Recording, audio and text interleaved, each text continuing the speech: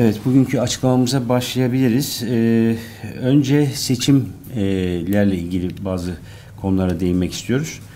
Ee, bir tanesi seçim güvenliği meselesi. Seçimlere 20 gün kaldı ve seçim güvenliği ile ilgili yaşananlar e, gerçekten son derece rahatsız edici boyutlara ulaşmış vaziyette. Biliyorsunuz bu seçimler e, e seçim süreci içinde e, İçişleri Bakanlığı ve Milli Savunma Bakanlığı'nın e, organize bir iş olarak yaptığı seçmen kaydırma meselesine itirazlarımız olmuştu. E, çok ciddi sayıda seçmen kaydırma gerçekleştirmişlerdi. iki bakanlık organize bir şekilde çalışarak. E, ve o itirazlarımızın önemli bir bölümü Yüksek Seçim Kurulu tarafından reddedildi. Ve biz o zaman Yüksek Seçim Kurulu'nun seçime şaibe karıştırma konusunda e, ortaklık yapmaya başladığını söylemiştik ve bunu e, ciddi bir şekilde eleştirmiştik. Şimdi ikinci aşamasına e, gelindi meselenin. E, konu sandık taşıma ve birleştirme. Sandık taşıma ve birleştirme kararları ardı ardına çıkmaya başladı. Bizim elimizdeki verilere göre şu anda toplamda 14 il ve 76 ilçede yaklaşık 150 bin seçmeni ilgilendiren e, bir ölçüde sandık taşıma ve kısmen birleştirme kararları e, alınmaktadır. E, baktığımızda bu illere şöyle sıralamak mümkün. Ağrı e, 6 ilçede, Batman 3 ilçede, Bingöl 6 ilçede, Bitlis 5 ilçede, Diyarbakır 7 ilçede, Hakkari 4 ilçe, Mardin 5 ilçede, Muş 5 ilçede, Kars 1 ilçede, Tunceli 8 ilçede, Siirt 5 ilçede, Şırnak 5 ilçede, Urfa 6 ilçede, Van 10 ilçede. E, bu son derece vahim bir e, tablodur. 150 bin seçmen e, bu konuyla ilgili durumdadır. Bu demektir ki doğrudan doğruya bu birleştirme ve taşıma kararlarıyla birlikte e, seçim güvenliği ortadan kalkmıştır. Bunların gerekçesi aslında seçim güvenliği e, idi.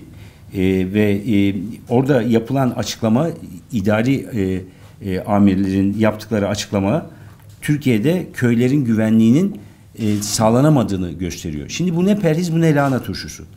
40 binden fazla bizim tespit ettiğimiz asker polis taşıması yaptınız. Oralarda oy verebilsin insanlar ve seçim sonuçlarını etkileyin diye, seçim sonuçlarını değiştirin diye 40 binden fazla bu sadece bizim tespit edebildiklerimiz asker polis özel harekatçı taşıması yaptınız. Şimdi de diyorsunuz ki biz bunları taşıdık ama köylerin güvenliğini sağlayamıyoruz. O zaman onları niye oraya taşıdınız? Birinci usulsüzlük o. İkincisi şimdi sandık birleştirme ve sandık taşıma meselesine girdiniz. E, bu aslında iktidarın e, idareden doğrudan doğruya talebidir. İdare bu e, iktidarın seçimleri kazanabilmek için e, özellikle Kürdistan coğrafyasındaki seçimleri kazanabilmek için e, idarenin e, uygulamalarıdır ve Yüksek Seçim Kurulu'nun da bu uygulamalara e, cevaz vermesi, izin vermesi, bunu onaylaması e, çok büyük bir seçim usulsüzlüğüdür. E, seçimlerin güvenliği e, neredeyse ortadan kalkmıştır. Adil ve demokratik bir seçim olmadığı çok net olarak e, görülmüştür. E, bu sadece HDP'nin sorunu değildir. Bu sadece HDP'nin sorunu değildir. Seçime katılmakta olan ve AKP MHP ittifakının karşısında bulunan bütün partilerin e, sorunudur e, bu demokratik seçimlere bu kadar şaibe düşürülmesi ve seçim sonuçlarını seçim öncesi oyunlarıyla Yüksek Seçim Kurulu aracılığıyla da e, belirleme konusundaki tutum bütün partileri ilgilendirir ve bütün partilere buradan çağrı yapıyoruz. E, AKP, MHP dışındaki onlara da söylüyoruz ama onların pek bu konuda siyasi etiğe uygun davranmayacaklarının farkındayız. E, bütün partilere diyoruz ki bu seçmen taşıma, ardından sandıkları birleştirme ve e, sandıkları taşıma meselesi e, seçimin güvenliğini tamamen ortadan kaldıracak bir duruma gelmiştir. Bu konuda susmayın, bu konuda tutumunuzu söyleyin. Çünkü mesele bir demokrasi meselesidir. Kesinlikle bir HDP meselesi olarak ele alınamaz.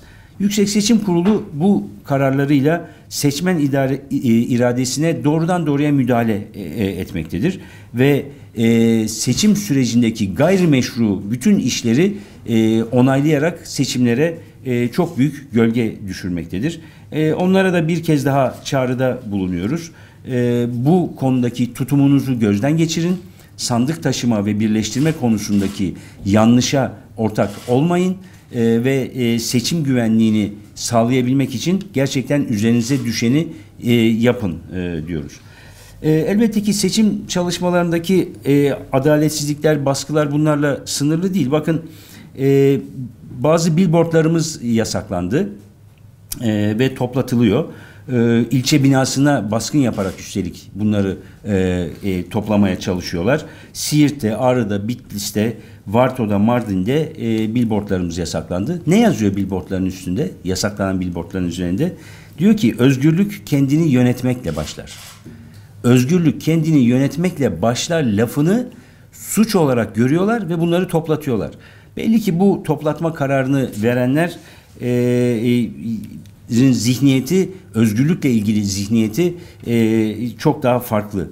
Kendilerini yönetmek değil, yönetilerek özgür olduklarını zannediyorlar ama e, biz öyle düşünmüyoruz. Evet, e, tarih boyunca da insanlar kendilerini yöneterek, kendileri hakkında alınan kararlara katılarak ve kararları vererek özgürlük doğrultusunda adımlar atarlar. Bundan daha doğal, daha insani ve daha tarihsel bir şey yoktur.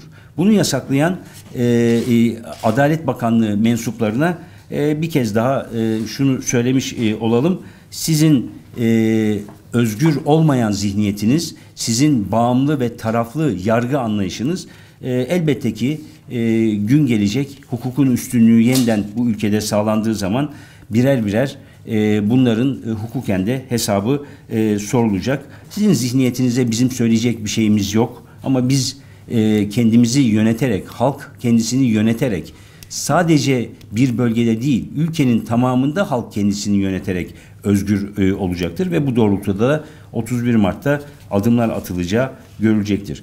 Bununla da sınırlı değil e, baskılar seçim çalışmalarımıza dönük olarak. Dün e, yılların siyasetçisi e, bir dönem milletvekilliği yapmış, e, belediye eş başkanlığı yapmış e, bir kişi Selim Sadak e, konuşma yapıyor. Seçim konuşması çalışmaları sırasında. Konuşma yaptıktan sonra gözaltına alınıyor. Avukatlarıyla görüşmesi engelleniyor. Yetmiyor. Türkü söyleyenler oluyor. Seçim çalışması sırasında gözaltına e, alınıyorlar. E, Adalet Bakanlığı da seçim çalışması yapıyor e, bu sayede.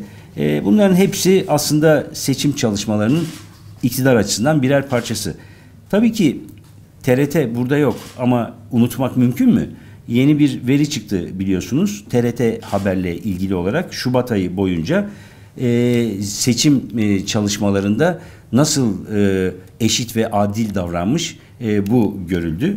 E, kulakları çınlasın TRT'nin bütün kalan kanallarının e, halkın vergisiyle e, bizlerin vergileriyle e, geçinen bizlerin vergileriyle yayın yapan e, bir kamu kuruluşu olan e, TRT'deki bu tutuma asla hakkımızı helal etmiyoruz. Vergi verenler asla haklarını helal etmeyecekler. Bakın Cumhur İttifakı'na TRT Haber'de Şubat ayı boyunca 53 saat 30 dakika yer ayrılmış. Millet İttifakı'na 6 saat 42 dakika lehte daha güzelini söyleyeyim 7 saat 8 dakika aleyhte. Yani aleyhte yayın lehte yayından daha fazla TRT Haber'de. E, HDP ne oldu diyeceksiniz. HDP 0 dakika. Orada bir değişiklik e, yok. E, iktidarın kürsüsü ve kanalıdır. Kamu kanalı olan halkın bütün siyasi tercihlerini yansıtmak eşit ve adil davranmak durumunda olan TRT iktidarın kürsüsü ve kanalıdır. Özerk ve tarafsız yayın yapmamaktadır. Anayasa suçu işlemektedirler. Rütük bir anayasal kurum olan Rütük sessiz kalmaktadır. Bakın aynı Yüksek Seçim Kurulu gibi Rütük de anayasa suçu işlemektedir. Şimdi Rütü'ye bir kez daha e, çağrı yapalım. Bu içerik ve yayın saati konusundaki adaletsizlik konusunda bu tutumunuz gerçekten kabul edilebilir bir durum değildir ve elbette ki bunun da hukukun üstünlüğü sağlandığı zaman hesabı sorulacaktır. Kimse size sahip çıkmayacak bu yaptığınız yandaş yayıncılıktan e, dolayı. Şimdi seçim çalışmaları bu şekilde devam ederken e bakıyoruz en tepede nasıl oluyor işler diye.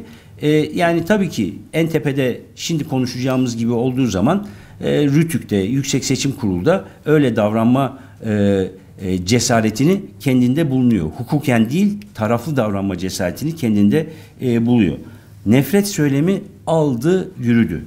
Yani e, gerçekten e, AKP Genel Başkanı'nın meydanlarda yaptığı konuşmalar bir seçim çalışması açısından ibretliktir. Yani tarih hakikaten bunları yazacak ama hiç iyi şekilde yazmayacak. Bu çok açıktır. Önce HDP'ye, HDP seçmenlerine, Kürt halkına hakaret etti. Ee, onları düşmanlaştırmaya çalıştı. Bu yetmedi. Ee, elbette arada ben enayi miyim dedi hakaret edecek kadar ama hani buna da cevap vermeyelim biz şimdi. Ee, evet ya da hayır demeyelim şimdi ama çok açık bir şekilde Kürt halkına ve HDP seçmenlerine, HDP yöneticilerine ve milletvekillerine kendisi başta olmak üzere Yamağa ile birlikte her türlü hakareti, rencide edici konuşmayı yaptı. Yamağın kim olduğunu siz biliyorsunuz. Bu tutmadı. Şimdi de din istismarına başladı. Ya bu bir seçimdir. Toplumu bu kadar bölüp kutuplaştırmayın. Toplumda bu kadar büyük gerginlik yaratmayın. Şimdi Kabataş yalanından sonra şimdi de Taksim yalanı çıktı ortaya. 8 Mart'ta kadınlar ezanı ıslıklamışlar, ezana saygısızlık etmişler. Ya külliyen yalan. Külliyen yalan. Kadınlar buna cevabı verdi ama biz şu açıdan önemsiyoruz bu yalanı. Toplumu bölüyorsunuz. Toplumu kutuplaştırıyorsunuz. Toplumda büyük gerginlik yaratıyorsunuz. Bu mesele külliyen yalandır. Eğer ezana bir saygısızlık edildiyse orada ezan okunurken kadınlara yönelik saldırılarını, gaz sıkmayı, cop sallamayı, kalkan şaklatmayı ve kadınlara yönelik tacizlerini engellemeyenlerdir. Orada o emri sürdürenlerdir esas ezana saygısızlık etmiş olanlar. Ezan okunurken bile kadınlara gaz sıkmaktan geri durmamış olanlardır esas saygısızlık etmiş olanlar. Yoksa kadınların öyle bir şeyi asla olmamıştır 8 Mart'ta. Şimdi bakın bu oyunu bu şekilde sürdürmeyin. Bir kez daha söylüyoruz. Toplumda büyük gerginlik yaratıyorsunuz. Din istismarından vazgeçin. Bayrak istismarından vazgeçin. Yerel seçim yapıyoruz. Siz bir savaş yapıyor gibi hissediyorsunuz kendinizi. Şimdi bunları e, bir kenara bırakın da başka şeyleri konuşalım. Başka şeyleri konuşalım. Bakın biraz evvel veriler, ekonomideki veriler açıklandı. Ekonomideki veriler böyle olduğu için siz bu din istismarını, bayrak istismarını, toplumu bölmeyi, kutuplaştırmayı, gerginleştirmeyi sürdürüyorsunuz. Çünkü ekonomiyi konuşmaya başlasak ne diyeceksiniz? Bakın biraz evvel açıklandı. 2017'de %7 olan büyüme 2018'de %2.6'ya düşmüş. Siz orta vadeli programda hedefiniz 5.5'tu, 2.6 olmuş. Yeni ekonomi programında hedefiniz 3.8'di, 2.6 olmuş 2018 büyümesi. Bunu konuşalım. 2018 son çeyrekte imalat sanayi yüzde 7.4 küçülmüş. Bunu konuşalım. İnşaat sana, e, sektörü yüzde sekiz buçuk küçülmüş. Bunu konuşalım. Toplamda yüzde üç küçülme olmuş 2018 son çeyrekte. Bunu konuşalım. Hane halkı tüketimi yüzde dokuz düşmüş. Bunu konuşalım. Yatırımlar yüzde on dört düşmüş. Bunu konuşalım. Ne oldu Ekonomi ve Hazine Bakanı Damat Bey? Resesyon var Türkiye'de dediğimiz zaman yok diye konuşup duruyordunuz. Her şey çok iyiye gidiyor, şahane. Hele 31 Mart'tan sonra en güzel günler geliyor diye konuşup duruyorsunuz. Ne oldu? 2018 verileri. Gelin bunu konuşalım. Domates, biber, patlıcanın fiyatını konuşalım. Hakikaten hayat pahalılığı düşmüş mü? Çıkın bakalım bir meydanlarda, sokaklarda halka sorun. Çarşı pazar gezenler e, Enflasyon düştü mü düşmedi mi? Hayat pahalılığı azaldı mı azalmadı mı? Size cevap versinler. Bunları konuşalım. Yok bunları konuşmuyorsunuz. Bunları konuşmamak için zaten din istismarına sarılıyorsunuz. Bunları konuşmamak için HDP'yi ve Kürt halkını düşmanlaştırıyorsunuz. Sorun da zaten buradan kaynaklanıyor. Ee, bakın e, başka şeyleri de konuşalım. Geçen gün İçişleri Bakanınız açıkladı. Ee, dedi ki 510 binden fazla gözaltı 31 binden fazla tutuklu olmuş FETÖ ile ilgili bu süre boyunca e, ve İçişleri e, Bakanlığı'ndan 44 bin civarında insan e, ya ihraç ve görevden uzaklaştırılmış. Milli Savunma Bakanlığı'nda 16 binden fazla kişi ya ihraç ya görevinden uzaklaştırılmış. Sayılar uçuşuyor havalarda. Bir tane AKP'li yok içlerinde. FETÖ'nün siyasi kanadına dair FETÖ'nün siyasi işlerini sürdürmüş olanlara dair ya bir tane gözaltı, bir tane tutuklama, bir tane ihraç, bir tane yargılama yok. Nerede bu FETÖ'nün siyasi ayağı? Hala her gün FETÖ operasyonları yapıyorsunuz. Ee, orduda, Türk Silahlı Kuvvetleri'nde yapıyorsunuz. Başka e, devlet kurumlarında yapıyorsunuz. İyi güzel de ya nasıl oluyor da siyasi ayağı hala ortaya çıkartamadınız? Bak 510 binden fazla gözaltı olmuş. 31 binden fazla tutuklu var. Bir tane siyasi ayağı yok mu bunun? Adalet ve Kalkınma Partisi tertemiz mi? Hiçbir şey bulamadınız mı? 12 yıl iktidar ortaklığı yaptıklarınızla ilgili kendi içinizde hiçbir tane kişiyi bulamadınız mı? Bunlar uzaya mı gittiler? Hani diyorsunuz ya biz uzaya gideceğiz diye. Önce bunları mı gönderdiniz siz uzaya? Adalet ve Kalkınma Partisi içinde hocam ne olur geri dön diye salya sümük ağlayanları mı gönderdiniz önce uzaya? Ya da biz senin rahleyi tedrisinden geçtik diye övgü dizenleri mi gönderdiniz önce uzaya? Bunları biraz konuşalım. Bırakın din istismarını. Bırakın kadınlar ezana saygısızlık etmiş demeyi. Bırakın HDP seçmenlerine, yöneticilerine, milletvekillerine, Kürt halkına düşmanlık etmeyi ve hakaret etmeyi. Gelin ekonomiyle FETÖ'yü konuşalım. Şimdi onun için bu seçim çalışmasıdır. Bir kez daha söylüyoruz. Siz seçim çalışmasını açtınız, toplumda büyük gerginlik, büyük kutuplaştırma yaratıyorsunuz ve 31 Mart'tan sonrasını düşünmüyorsunuz.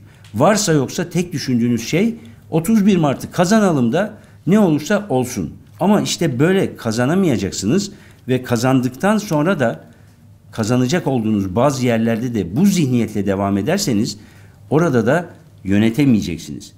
Bu ciddi bir e, tehdit haline gelmiştir. Özellikle Adalet ve Kalkınma Partisi seçmenlerine seslenmek istiyoruz. Bakın Adalet ve Kalkınma Partisi seçmeni olabilirsiniz. Sizler bizim ne düşmanımızsınız ne de size öyle bakanlara e, hak veririz. Ama Adalet ve Kalkınma Partisi seçmenleri bu gidişe dur demezlerse, bu gidişi frenlemezlerse, bu toplumdaki gerginleştirmeyi, kutuplaştırmayı sona erdirecek, Adalet ve Kalkınma Partisi'nin bu üslubuna, bu diline, genel başkanın bu tutumuna, bu tarzına fren yapacak, biraz terbiye edecek, disipline sokacak adımı Adalet ve Kalkınma Partisi seçmenleri e, atmazsa e, Türkiye her gün daha kötü bir noktaya gidecektir. E, 1 Nisan'dan sonra ekonomi daha içinden çıkılmaz krizlerle boğuşmaya e, başlayacaktır. Biz şimdiden e, söylemiş e, olalım. Ve son olarak da Adalet ve Kalkınma Partisi'ne e, oy veren Kürt seçmenlere sesleniyoruz. Yapılan bu hakaretleri, bu düşmanlaştırma girişimlerini kesinlikle kanı, benimsemeyin, kesinlikle kabullenmeyin ve lütfen, lütfen bu yapılanların ne anlama geldiğini bir kez daha e, düşünün. Yaptığınız işi gözden geçirin ve Adalet ve Kalkınma Partisi'ne de siz bir ders daha verin. Evet. E, basın toplantısında söylemek istediklerimiz kısaca e, bunlar. E, herhangi bir soru varsa soruları alayım yoksa toplantıyı sonuçlandıralım.